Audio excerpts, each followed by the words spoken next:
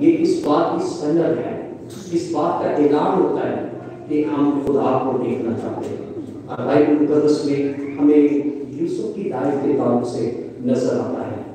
Yusuf Bible मुकदस में हम देखते हैं कि पाक ज़िंदगी गुजारा था।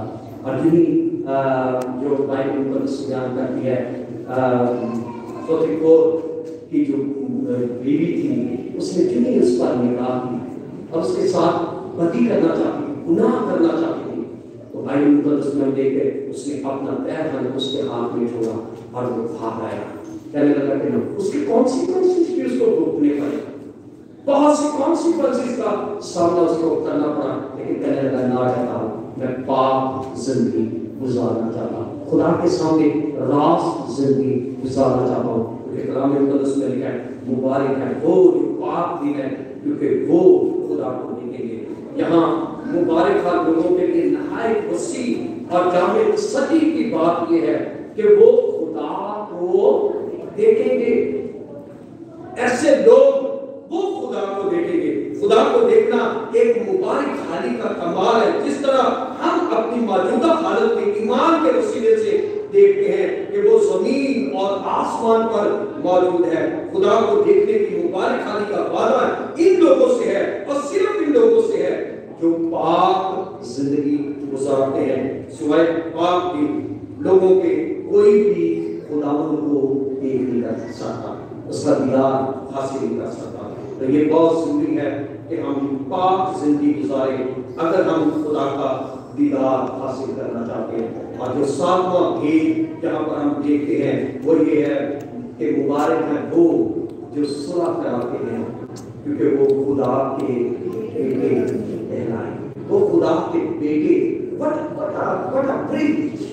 वो खुदा के बेटे कहलाए। जो हिकमत ऊपर से आती है अवल तो पाक होती है, फिर मिलनसार, यानी सुलह जो।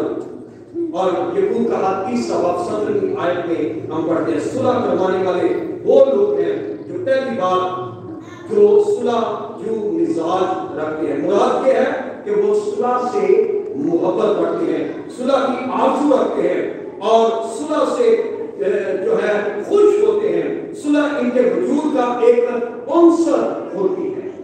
वो सुलह को पसंद करते हैं। जो सुलह जो होते हैं, वो इस बात को पसंद करते हैं। फिर दूसरी बात भी हम देखें, जो सुलह, जो मिलनसार किरदार रखते हैं, वो पूरी तनदही से कोशिश करते हैं कि सुलह कायम रहे। और अगर टूट गई है तो जल्द अज जल्द इसको बहाल किया जाए। बस का सुलह करवाना ऐसा काम होता है जिसके लिए कोई शुक्रगुजार नहीं होता।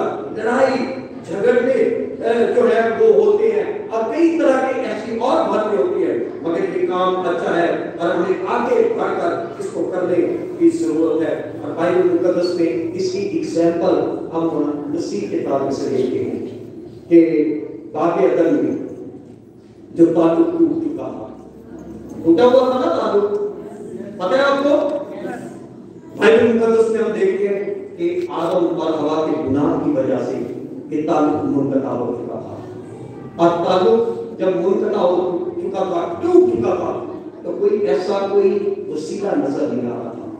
तो ऐसी हाल में खुदा ने अपने बेटे का इंतज़ाम किया। खुदा ने अपने बेटे को इस दुनिया में भेजा सिर्फ़ ये काम वो ही कर सकता है। तो भाई मुकद्दस बयान करती है कि ऐसी हाल में वो आया। जब वो आया तो उसने खुदा बाप के हाथ को लिया और वो दरमियानी बन गया। बाइबल मुकद्दस बयान करती है, वो दरमियानी बन गया। और जब वो दरमियानी बन गया तो उसने खुदा बाप के हाथ को लिया और उसके बाद इंसान के हाथ को लिया तो उनको उसने मिला।